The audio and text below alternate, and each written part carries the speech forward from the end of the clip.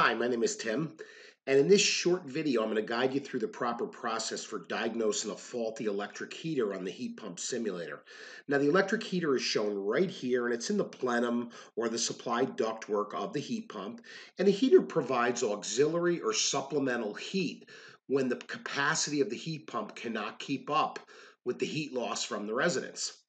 We're going to begin by clicking on the thermostat to make sure it's calling for heat. So we're going to click on the selector switch and this will turn the temperature setting up as well. And we want to make sure that we turn the temperature up well above the set point so that we ensure that both stages of heat are activated. Next, we're going to click OK on the procedure guide and we're going to take a brief inventory of which electrical loads are operational. And we're going to begin at the indoor unit and check the blower operation. And as we can see here, the blower is operating. So we click OK here and click yes that the blower is operating. Next, we're going to proceed to the outdoor unit and we're going to remove the cover. And when we do this, we can easily verify that both the compressor and the outdoor fan motor are operational. So after clicking OK and yes that the outdoor fan is running and yes that the compressor is running, we need to check the electric heater now. So our three major loads are operational, but again, when it's cold outside, uh, the capacity of the heat pump will not be able to keep up with the heat loss, and it's going to be necessary to turn on additional heat in the form of the electric heaters. So we're going to click on the control panel, cover and remove it, and click OK. And next, we want to check and see if the heaters are actually drawing current. Now, we can do this very easily by using the clamp-on ammeter and placing it around one of these black wires at the top of the auxiliary heat relay. You can actually do it anywhere on these black wires that lead up to the heater, but we're going to do it right at that glowing orange hotspot here. And when we do this, we see we have zero amps, so our electric heater is not drawing current, meaning it's not functioning. Now, before we proceed any further, let's take a look at the wiring diagram and come up with a list of possible causes of this malfunction. Now, to begin with, if we look at the thermostat, we have this W2 terminal right here. This is our second stage heat, and this will provide 24 volts out of the W2 terminal when the temperature in the space falls two degrees below the set point of the thermostat. Now, this makes a determination that it's not keeping up with the first stage heat on, and it would be necessary to activate second stage. So we could have a malfunction in the thermostat here at the W2 terminal. We could also have a malfunction in the auxiliary heat relay itself right here. And then if we go to the line voltage diagram, we can see our electric heater is right here in the center and it's provided power through these auxiliary heat relay contacts. So again, we have a possibility of the thermostat, the auxiliary heat relay, or the electric heater itself. So this is a pretty simple one. We've only got three possible causes.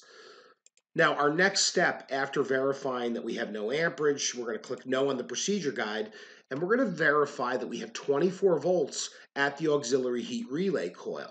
And we're just going to place our leads at the white and blue connections here of the coil of this relay. Now this will verify that the thermostat is sending 24 to the coil. And as we can see by the meter, we do in fact have 24 volts. So this eliminates our thermostat as a possible cause of the malfunction.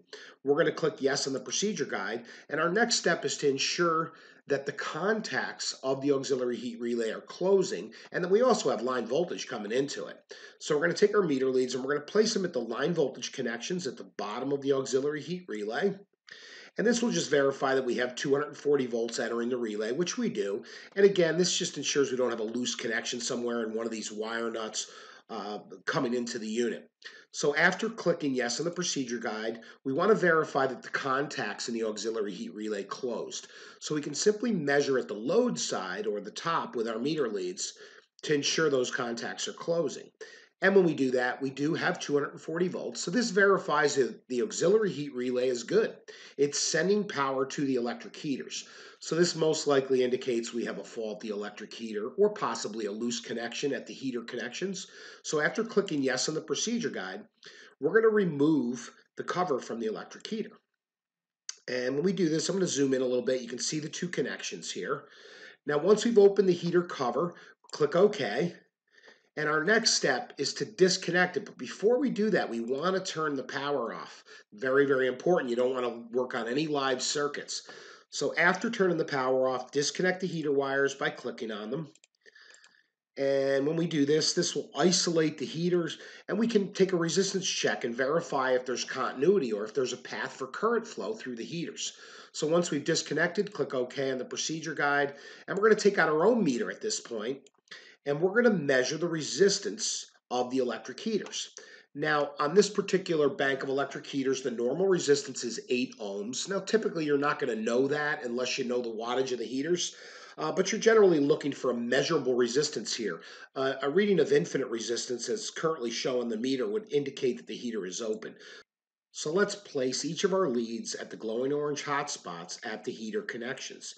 We're going to drop our red lead here on the top, and we're going to drop our black lead here on the bottom connection.